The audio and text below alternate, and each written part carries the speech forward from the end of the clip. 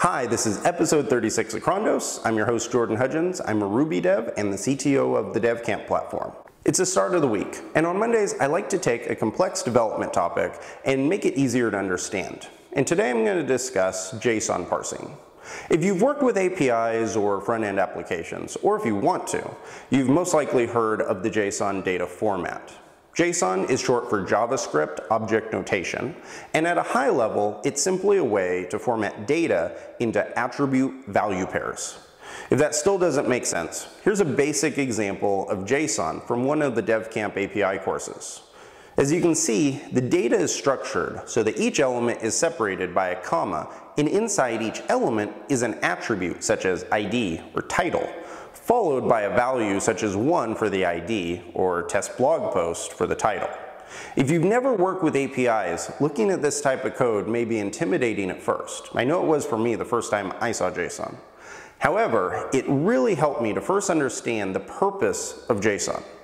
JSON was created to be a universal data format that could be used across all languages and frameworks, which means that it actually has to be quite simple since it has to work exactly the same way for a Ruby on Rails application as an iOS mobile app. With that in mind, let's discuss how we can practically implement JSON parsing in a real world application. Typically, I try to keep these videos language agnostic since I want everyone to get something from them. With that being said, the syntax for parsing JSON is going to be slightly different in each language. However, the high level process will be the same and I've outlined them in the following steps. This is what the API that we'll be working with looks like if you were to go to the URL in the browser. First, we need to call the API or JSON data in this example, I'm using the Ruby language and the HTTParty gem to contact an outside API that I've mocked. When I run this program, it contacts the outside API and prints out all of the JSON data to the terminal, as shown here. This is a mess. If you wouldn't know where to start with implementing the code for JSON parsing, don't worry. There's actually a really nice shortcut for finding out how to pull out the data. But first, let's talk about how to pull data from a nested data source like JSON. Each language is a little different. However, usually looks something like this. This is called the bracket syntax, and it lets you access nested levels of data within JSON data. Here's a diagram of how you can visualize the nested behavior of JSON. Here we have some user data, and each user is stored inside level 1. From there, we have some high-level data on the user, such as name, email, and hobbies in level 2. And inside our hobbies attribute is stored another level, level 3. That includes another set of data.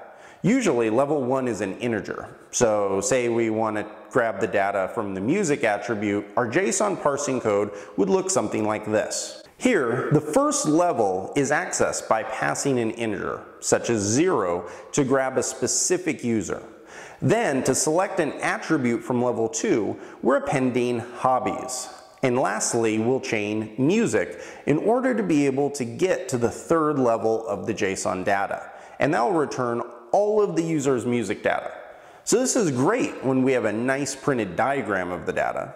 But what happens in the real world when we don't have that? Well, let's go look at the data in the browser. Notice what happens when I hover over one of the attributes in Chrome.